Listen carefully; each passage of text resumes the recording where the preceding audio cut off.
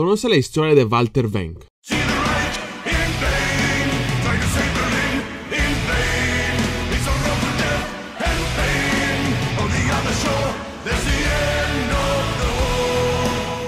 A días finales de la Segunda Guerra Mundial en Europa, la situación alemana estaba a punto de colapsar, y en su búnker Hitler puso las esperanzas de la salvación de Berlín al general Walter Wenck.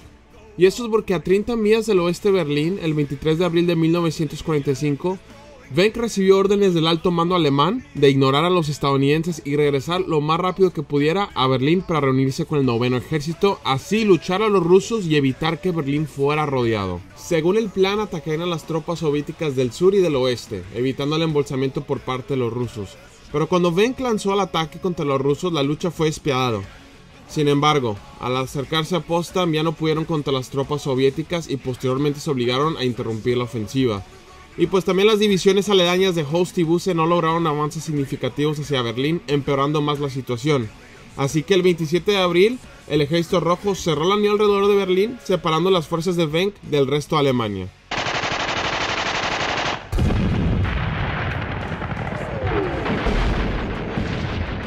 En esa misma noche, Wenck le dijo al alto mando alemán que las tropas de su ejército se vieron obligadas a retirarse a lo largo de todo el frente, y pues también les dijo que no esperaban el apoyo del noveno ejército ya que era imposible seguir avanzando hacia Berlín. Pero Keitel le recordó que las órdenes del Führer eran más claros que el agua. Regresa a Berlín, solo tú, Wenck, tienes el poder de salvar al Reich. Al ver esto, Wenck se dio cuenta que la verdad no podría llegar a Berlín. Mejor desarrolló un plan para trasladar a su ejército al bosque. Ahí quería unir sus fuerzas con lo que quedaba del ejército para atacar Berlín y romper el círculo creando una ruta de escape o un corredor para la mayor cantidad de civiles en Berlín. Digo, también recordemos que a este punto del conflicto lo que quedaba del ejército alemán era una combinación de niños, jóvenes, veteranos, una fusión de gente inexperimentada con las obras de muchas compañías replegadas que sobrevivieron. Y pues también tenían la tarea de combatir a más de un millón de soldados del ejército rojo. Y aún así, el ejército alemán todavía podía darle una pelea a los aliados y luchaban ferozmente.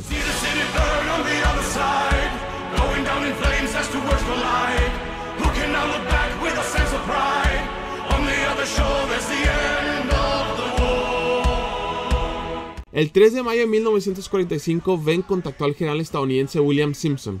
Ahora, recordemos que los aliados habían acordado entre ellos que los alemanes podían capitular con los ejércitos que quisieran, sea con los estadounidenses o los rusos, siempre y mientras estén atacándolos. Es decir, para que fuera legal tendrían que estar atacando a los norteamericanos y después rendirse en este caso. Pero bueno, para no complicarla, los estadounidenses mantuvieron lo de Venk en secreto y no le dispararon a ningún soldado que intentaba capitular, básicamente violando el acuerdo que tenían con los rusos. Pero bueno, el general Simpson sí permitió a los soldados alemanes heridos, pero no dejó a los civiles hasta que el puente fuera asegurado. Y estamos hablando del puente que está en el río del Elba. También se sabe que varios estadounidenses murieron intentando ayudar soldados alemanes y civiles cruzar el puente. Pero pues ahí viene lo bueno, porque al darse cuenta los rusos de lo que estaba pasando, comenzaron su ofensiva contra las fuerzas de Venk. Recordemos también que los rusos sí estaban siguiendo a Venk, pero no con mucha intensidad ya que estaban muy ocupados en tomar Berlín.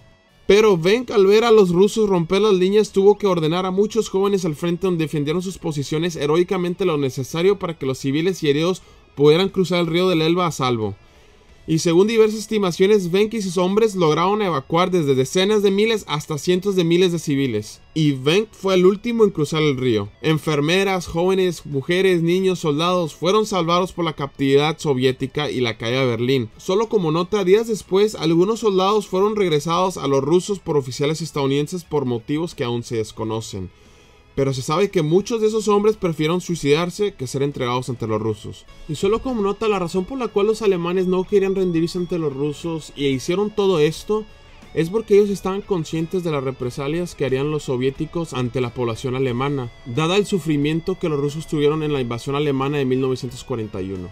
Tres años después del conflicto en 1947, Wenck fue liberado como prisionero de guerra y en el 48 comenzó a trabajar como gerente en una empresa.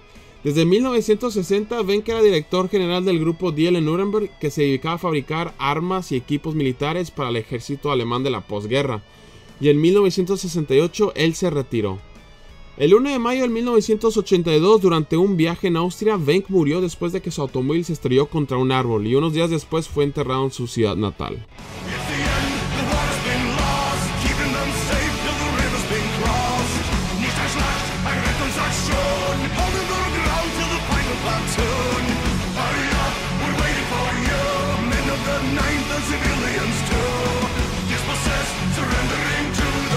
A mí personalmente me fascinan este tipo de historias porque muestran una cara al conflicto que no muchas personas conocen, en donde a veces los héroes se convierten en villanos y los villanos en héroes. Y durante la Segunda Guerra Mundial hay muchas de estas historias y pues obvias todas valen oro. No olviden compartir esta heroica historia para que tampoco quede en el olvido. Muchas gracias y esto es todo.